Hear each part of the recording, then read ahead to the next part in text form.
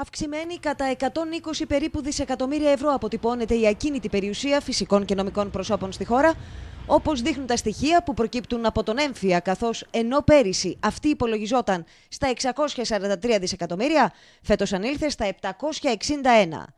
Στην Κρήτη, οι 360.949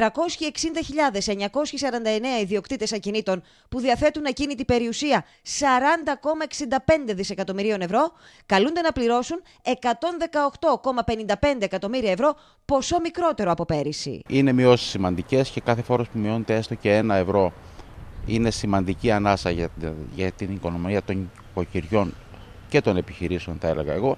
Όμως να μην ξεχνάμε ότι ο έμφυα είναι ένας φόρος που ήρθε ως προσωρινός, τελικά έγινε μόνιμος και εμείς θα συνεχίσουμε να διεκδικούμε την κατάργησή του. Είναι θετική η μείωση αυτή του έμφυα. Οπωσδήποτε είναι μια ανακούφιση για τους ιδιοκτήτες ακινήτων, όμως θεωρούμε ότι πρέπει να μειωθεί ακόμα περισσότερο γιατί είναι ένας φόρος που πλήττει τα απρόσοδα ακίνητα, δηλαδή αυτά που δεν δίνουν εισόδημα, είτε αυτά είναι οικόπεδα είτε οι μητελείς οικοδομές είτε χώροι που ιδιοχρησιμοποιούνται. Το σπίτι, για το σπίτι δηλαδή που κάθεται κάποιος καλείται να πληρώσει έμφυα. Όπως επίσης και για το μαγαζί που ασκεί την επιχείρησή του και είναι ιδιόκτητο. Μάλιστα, η Κρήτη είναι στις τρεις πρώτες περιφέρειες της χώρας με τη μεγαλύτερη μείωση του έμφυα.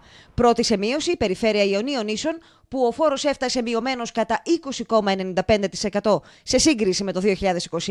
Αμέσως μετά η περιφέρεια Κρήτης με μείωση 19,09% και τρίτη η περιφέρεια Βορείου Αιγαίου με μείωση κατά 19,06%. Χωρίς βέβαια να λείπουν και οι περιοχές που ο έμφυα έφτασε αυξημένος λόγω αύξησης των αντικειμενικών αξιών. Πρωταθλητής σε επίπεδο νομού στη μείωση είναι ο νομός Ρεθύμνης με μεσοσταθμική μείωση 22 περίπου της 100.